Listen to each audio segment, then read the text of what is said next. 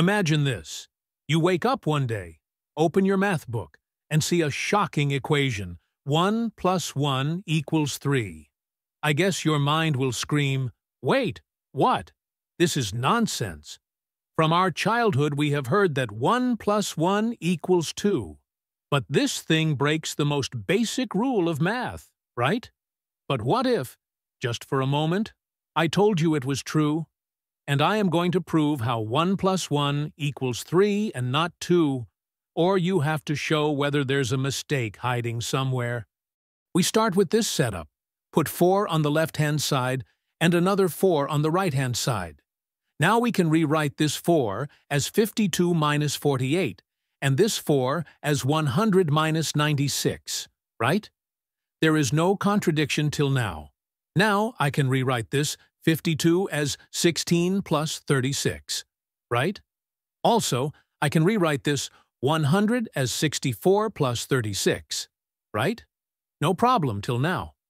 Next, we will write this 16 as 4 square, then 36 as 6 square, and this 48 we can write as 2 times 4 times 6, right?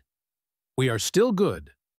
Now we can also write this 64 as 8 square, then 36 as 6 square, and this 96 we can write as 2 times 8 times 6, right?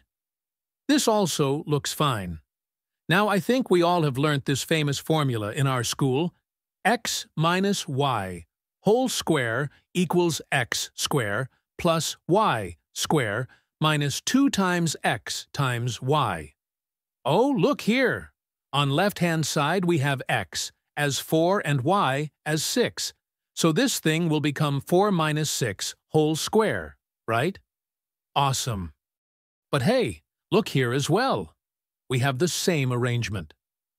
x is 8 here, and y is 6, so we get 8 minus 6 whole square on right-hand side. Amazing! Now look, we have a square on both the left-hand side and right-hand side, right? So we can simply cancel or eliminate them from both sides, and we are left with 4 minus 6 equals 8 minus 6. Now take this minus 6 on the right-hand side to make it plus 6 we get 4 equals 8 minus 6 plus 6. This 6 will get cancelled out. And we are left with 4 equals 8. This is going crazy. Now divide both sides by 4, and this will become 1, and right side will become 2. And as a final step, just add plus 1 on both sides to make it 1 plus 1. And right side will become 2 plus 1 or 3, and that's it. Look at this beauty we have finally proved that 1 plus 1 equals 3. Now, either you accept that 1 plus 1 equals 3 and live with it, or prove me wrong by showing the mistake hidden in these steps. So,